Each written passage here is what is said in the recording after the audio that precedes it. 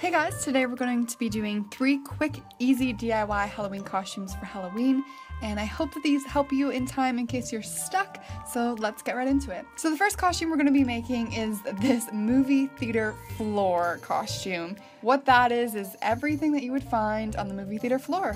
That's basically it. This first one, you're going to need some red paper bags. You're also going to need a garbage bag, some paper and scissors, and then a bunch of candy wrappers. Can really be anything, it's totally up to you. You'll also need some popcorn and some duct tape and glue. So to get started, I'm kind of just making my own popcorn bags. If you can find these like at your grocery store or your dollar store, that would be fantastic and you wouldn't have to make them. Basically, you're just gonna be trimming little white pieces of paper to go on top of the red, so we're getting that like carnival movie popcorn bag, you know. Once you've done that, I'm just taking some glue and popping that on the back of the pieces of paper, and then I'm putting five on each bag. This is all personal preference, but I just thought this is what worked well.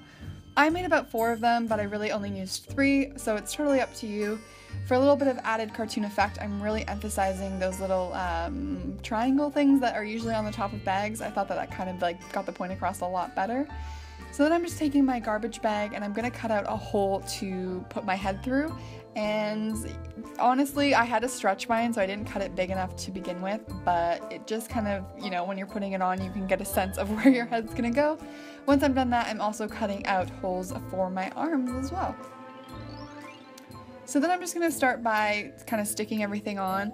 To stick on plastic things like your popcorn bags or your candy wrappers, I found that duct tape was the best because it's very, very sticky and holds it on really well. So I highly suggest using duct tape. However, when you are going to put the popcorn on, I would highly suggest using like packaging tape. I tried using regular glue, didn't stick. I tried using regular tape, didn't stick. You don't want to use a glue gun because it will melt through the bag, so this is kind of the best alternative. And once it's all on, you can't really see tape, you can only see the popcorn.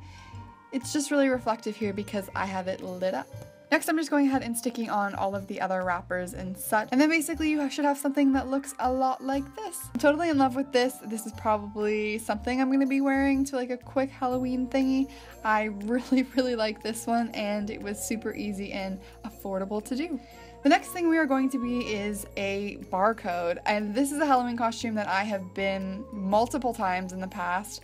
Um, it's quick and easy. All you need is a Sharpie, a ruler, and some Bristol board. You can totally make this like a two, like a front and a back, but because it's a quick and easy costume, of course, I'm only making the one side.